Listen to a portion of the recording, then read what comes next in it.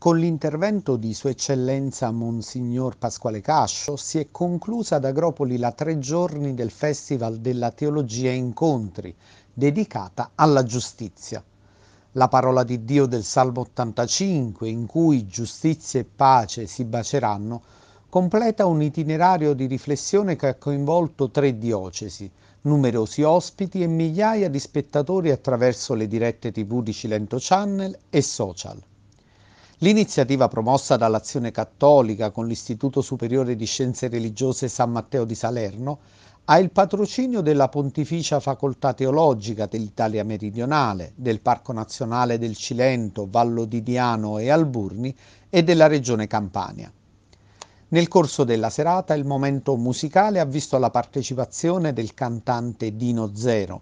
mentre l'ultima testimonianza del ciclo di incontri Dopo la partecipazione dei magistrati Consuelo Ascolese e Katia Cardillo,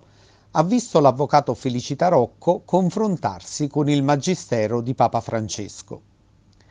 Il percorso della rassegna continua nelle prossime settimane con la mostra itinerante Ecce Homo, il Vangelo nelle opere di Andrea Guida, che sarà visitabile fino al 15 agosto a Caggiano, presso la chiesa di Santa Caterina, e dal 16 al 31 agosto a Teggiano, presso il chiostro San Francesco.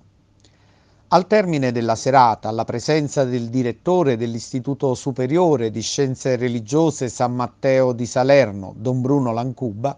è stato annunciato anche il tema della prossima edizione, che verterà sulla fraternità.